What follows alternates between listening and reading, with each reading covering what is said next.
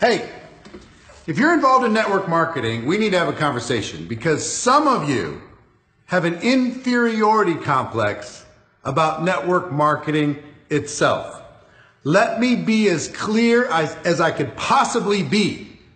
If you have an entrepreneurial bone in your body, network marketing is not perfect, but it's better than any other form of entrepreneurship for the average person in the world. And that's not just my opinion. I can back it up.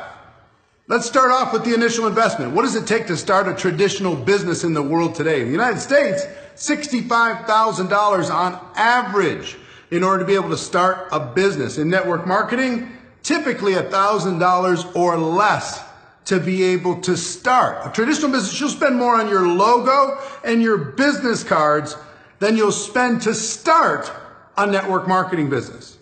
Second is the potential upside. Most businesses, traditional businesses, are limited. Network marketing literally has an unlimited upside. You're, we do three things in network marketing. Number one, we sell products and services to consumers using word of mouth advertising. Two, we grow a network of other distributors doing the same thing. We earn from our efforts and from the sales created by the team we build. And three, we improve the productivity of the network that we build, right? So that's what creates the potential upside. So initial investment, check. Upside, check. Third thing is the product. If you're starting a traditional business, you've got to come up with an amazing product, right? Do your homework, maybe have patents, have backup, all kinds of research. What if the product was already created for you? That's what happens inside of a network marketing business. The product is already created for you. You've got a product to be able to tap into and to be able to move into the marketplace without the burden of having to create it yourself. Next is leverage. Figuring out a place to be able to leverage your time. Now, you could start an Uber business Put, put a stranger into the back seat of your car and start running people around town if you want. But can you build a team of Uber drivers out there where you earn a commission every time they put somebody in the back seat of their car? That's the difference with network marketing. You can put, put a stranger into your spare bedroom at, using Airbnb but can you get a team of other people doing the same thing where you're earning a little bit from a larger group of people that you've involved into this profession, the team that you've grown inside this profession? So the ability to create leverage is amazing. And then you have the support involved. Typically, when you start a traditional business, you've got to be everything to everybody. You've got to be a lawyer. You've got to be a babysitter. You've got to, you know, be a janitor. You've got to be an HR person. You have to be everything. What if all, most of the support was created for you?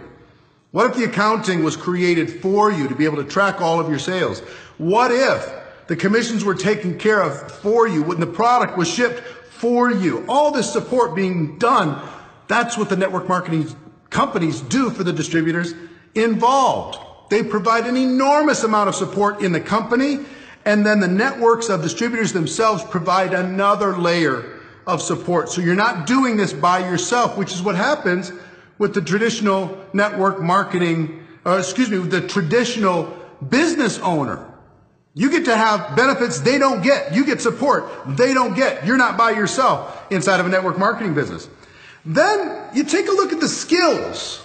The skills that you have to bring into a traditional business versus a network marketing business. Inside of network marketing is very forgiving because you can start with almost no skills and you can start to grow those skills as you go. You can start to learn as you grow. You don't have to start at the beginning being perfect.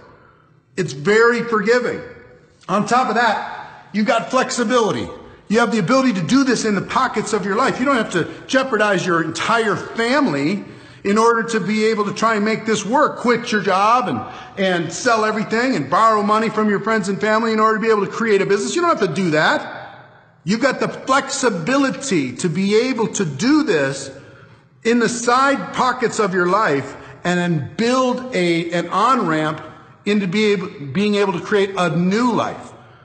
That's what network marketing allows you to do. The flexibility to do it in your own time. The flexibility to expand it or contract it based upon what's going on in your life. A traditional business, once you take the leap, you're in, baby.